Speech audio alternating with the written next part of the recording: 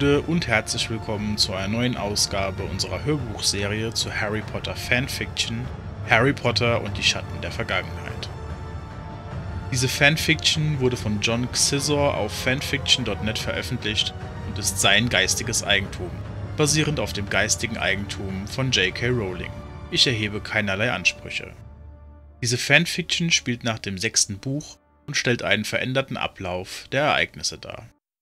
Kapitel 50 Der Hexenturm Wegen des glücklicherweise fehlgeschlagenen Attentats auf die Schülerin Meredith Baerbaum wurde Severus als Zeuge ins Ministerium gebeten, um eine Aussage zu machen.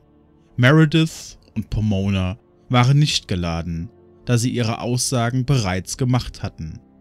Sie konnten jedoch leider wenig Licht ins Dunkel bringen, weil sie während der Tat niemanden gesehen hatten.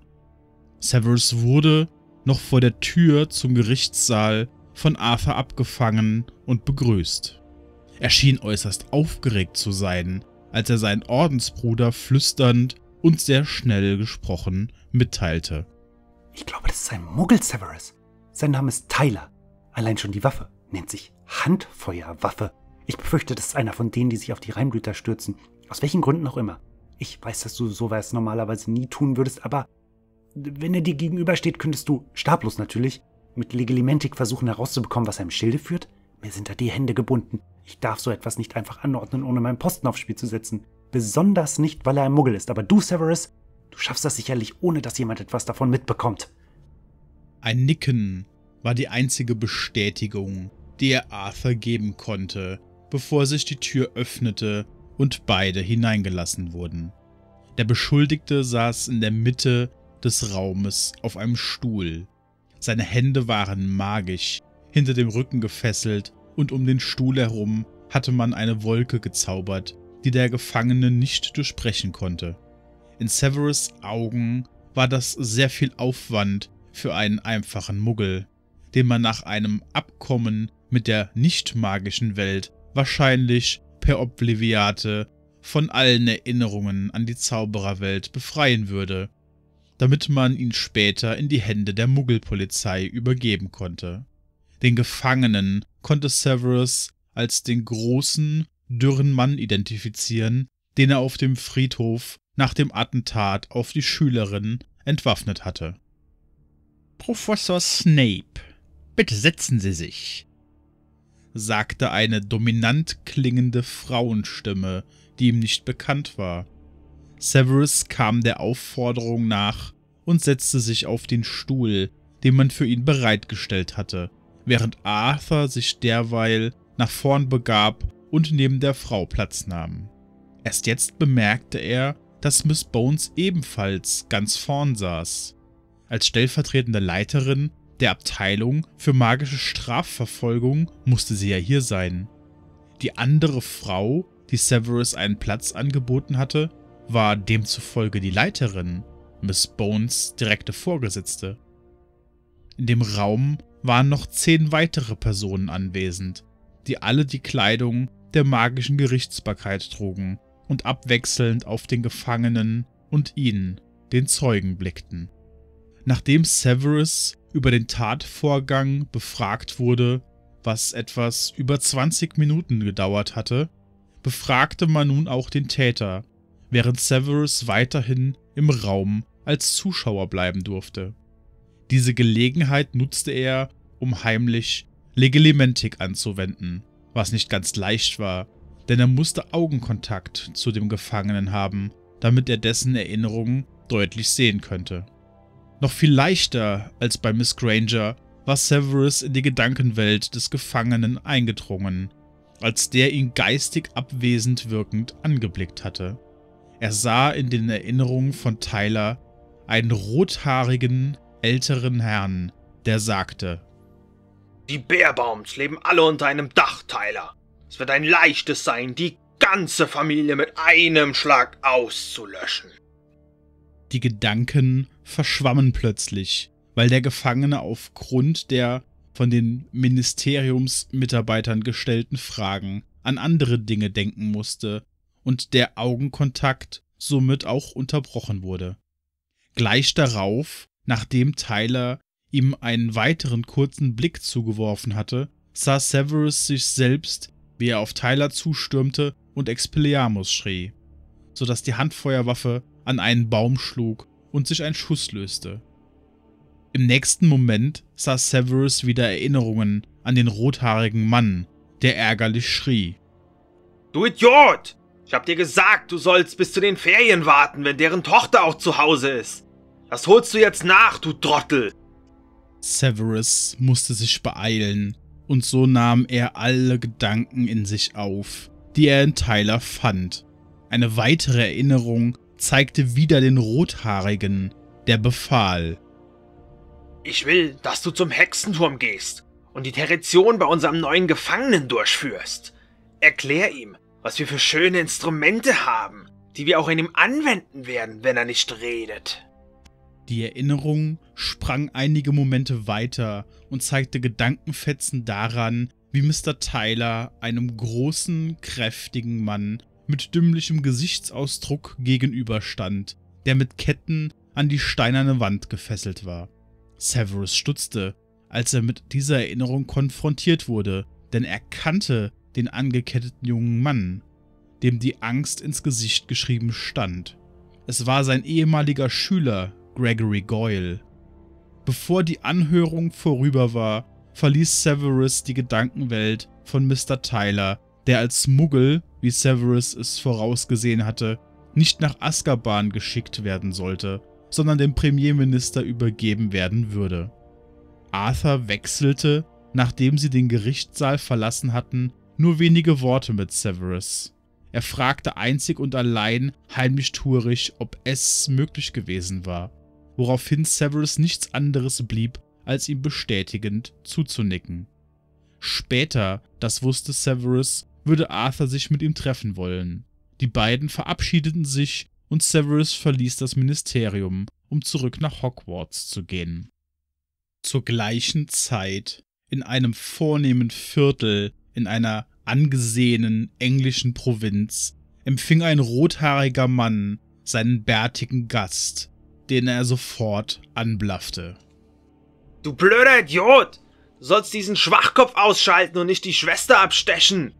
Bist du sogar zu dämlich dazu, einen wehrlosen Mann zu ersticken? Der bärtige Mann erwiderte rechtfertigend. In dem Zimmer war noch jemand und der hat um Hilfe gerufen. Ich musste die Schwester ausschalten, sonst wäre ich aufgeflogen. Es war schon schwer genug, überhaupt in dieses Krankenhaus hereinzukommen. Wäre es dir vielleicht lieber gewesen, wenn die mich auch noch geschnappt hätten? Der Ältere fuhr sich mit einer Hand durch das rotgraue Haar und knallte wütend sein Champagnerglas auf den noblen Mahagonitisch, bevor er erneut ausholte und schimpfte. Die Kleine auf dem Friedhof? Du hast dich selbst damit hervorgetan, dass dein Freund Tyler einem Schützenverein angehört. Und dann? Der Bärtige stand neben dem edel gekleideten Rothaarigen und ließ betrübt den Kopf hängen. Sie ist aufgestanden in dem Moment, als er seinen berühmten Blattschuss abgefeuert hat. Sie wäre auf der Stelle tot gewesen. Aber nein, sie musste ja aufstehen. Kann er etwas dafür, dass sie sich bewegt? Keine Sorge, ich übernehme sie das nächste Mal selbst und ich erwische sie mit Sicherheit. Versicherte der bärtige Mann. Nach einem Moment fragte der Rothaarige. Wo haben Sie Tyler hingebracht? Haben Sie sowas wie ein Gefängnis? Wir müssen ihn rausholen, bevor er quatscht. Wer weiß, was die für Methoden haben, um jemanden zu reden zu bewegen. Der Bärtige versicherte. Wir wissen, wo sie ihn festhalten. Man hat ihn noch nicht in deren Gefängnis gebracht, weil sie nicht schlau aus ihm werden. Vielleicht ahnen sie, dass er kein Zauberer ist. Nachdem der Rothaarige genickt hatte und sich etwas entspannter in seinem Stuhl sinken ließ, fragte er. Und was ist mit dem Mann, der in dem Krankenzimmer um Hilfe gerufen hat? Weißt du, wer das war? Der Bärtige überlegte einen Moment und erklärte. Ich weiß nicht, wer er war. Er war wohl blind. Blind? Und dann trifft er dich nicht nur im Gesicht, sondern verpasst dir auch noch einen Tritt in deine... Der Rothaarige hielt lachend inne und fasste sich mit einer Hand in den Schritt, um zu verdeutlichen, welche Gegend er meinte. Den Frohsinn seines Kumpanen konnte der Bärtige nicht teilen, denn der Tritt war so schmerzhaft gewesen, dass er sich einige Blocks weiter hatte übergeben müssen. Mit vernehmbarer Unsicherheit in der Stimme fragte der Bärtige den Rothaarigen. Was machen wir, wenn der Typ im Krankenhaus aufwacht und plaudert? Der Rothaarige winkte ab. Ich glaube, der wird nie wieder ein Wörtchen von sich geben. Aber ich weiß, dass diese Typen in den Köpfen von Menschen herumstochern können, um Informationen zu suchen, und deshalb muss er ausgeschaltet werden, auch wenn er nicht mehr von alleine reden wird. Meine Methoden sind sehr wirksam. Er hat unter meiner Obhut nicht nur reichlich an Gewicht verloren, sondern auch seinen Verstand. Glaub mir, der sagt nie etwas, so wahr Gott mein Zeuge ist. Der Bärtige schnaufte höhnisch und fragte. Was hat denn Gott damit zu tun? Mit zusammengekniffenen Augen blickte der Rothaarige bedrohlich zu dem Bärtigen hinauf, bevor er sich ein weiteres Glas Champagner einschenkte und einen kräftigen Schluck nahm. Ohne auf die Frage zu antworten, gab er seine nächsten Pläne preis und sagte, Solange diese anderen Fanatiker es auf die sogenannten Reinblüter abgesehen haben, keiner bemerken, dass wir da heimlich mitmischen, mein Freund. Nicht, wenn Tyler die Schnauze hält. Die werden alle glauben, es wären diese Radikalen. Aber du selbst weißt, dass nicht alle Opfer auf deren Konto gehen. Wir müssen mehr über diese Leute herausbekommen, ist das klar? Der Bärtige nickte, aber bevor er aufstand und sich bereits verabschieden wollte, sagte der Rothaarige. Ich bin übrigens mehr als nur ungehalten über das, was dein Sohn getan hat. Er sollte die junge Frau observieren und ihr kein Kind anhängen. Sag Pablo, dass ich von ihm erwarte, dass er seine Missetat wieder gut macht. Beschämt nickte der Bärtige, ging gleich darauf hinüber zur Tür und verließ den Raum. Noch während er die Tür schloss, hörte er den Rothaarigen eine Stelle aus der Bibel zitieren, während im Hintergrund die Kirchenglocken zu läuten begannen. Und der Herr sprach, ihr sollt nicht Wahrsagerei noch Zauberei treiben. Hi, Ginny! grüßte Harry leise, als er eine Nische mit einer Fensterbank in einem verlassenen, gemäldefreien dunklen Korridor erreichte. Harry, ich bin so froh, dass du hier bist.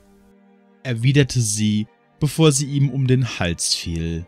Nachdem sie Harry geküsst hatte, fiel es ihm schwer, ihre Umarmung zu lösen. Nach einem Moment drückte er sie jedoch ein wenig von sich weg und sagte, Wir müssen doch aufpassen, Ginny. Ich möchte wirklich nicht, dass uns ein Schüler sieht oder noch viel schlimmer, Severus. Ginny kicherte erst, bevor sie verschüchtert zu Boden blickte und mit erröteten Wangen und breitem, verschmitzten Lächeln fragte. Gehen wir zum Astronomieturm? Harry wusste nur zu gut, dass besonders der Astronomieturm von Schülern genutzt wurde, die etwas Erfahrung sammeln wollten, weswegen er antwortete, Meinst du nicht, dass der etwas zu gut besucht ist um diese Zeit? Außerdem weiß ich, dass Severus abends dort gern mal vorbeischaut. Ich will nicht, dass wir in Schwierigkeiten kommen, Ginny. Sie stahl noch einen Kuss, bevor sie schmunzelnd sagte. Wechshaus Nummer 4 ist voller duftender Blumen. Gänseblümchen, Veilchen und viele, viele wunderbar riechende Orchideen.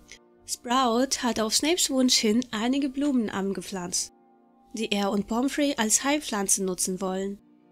Da könnten wir doch hingehen, Harry. Vielleicht jetzt? In diesem Moment kam Severus um die Ecke und Ginny erstarrte zur Salzsäule, während Harry nur verlegen mit hochroten Wangen lächelte. Severus blieb abrupt stehen, als er die beiden bemerkte, so dass sich nur noch für einen Moment sein schwarzer Umhang bewegte. als hätte eine Brise ihn gestreift. Vorwurfsvoll blickte er Harry an, doch der behielt die Ruhe und sagte förmlich zu Ginny. Tut mir leid, Miss Weasley, dass Ihre Strafarbeit bei mir heute etwas länger gedauert hat. Ich habe wohl die Zeit vergessen. Jetzt machen Sie aber schnell, dass Sie in Ihr Haus kommen. Ginny grinste, nickte und verschwand daraufhin in Richtung Gryffindor-Turm. Severus blickte Harry aus zornig verengten Augen an, bevor er kommentarlos den Weg zum Astronomieturm in der Hoffnung einschlug, einigen Schülern Hauspunkte abziehen zu können. Soweit zur heutigen Ausgabe unserer Hörbuchreihe zu Harry Potter Fanfiction Harry Potter und die Schatten der Vergangenheit. Vielen Dank fürs Zuhören. Wenn es euch gefallen hat, lasst uns bitte einen Daumen nach oben da und sehr gerne natürlich auch einen Kommentar, denn die Feedback Challenge ist immer noch on. Wenn ihr mögt, natürlich auch gerne ein Abo. Ciao, bis zum nächsten Mal.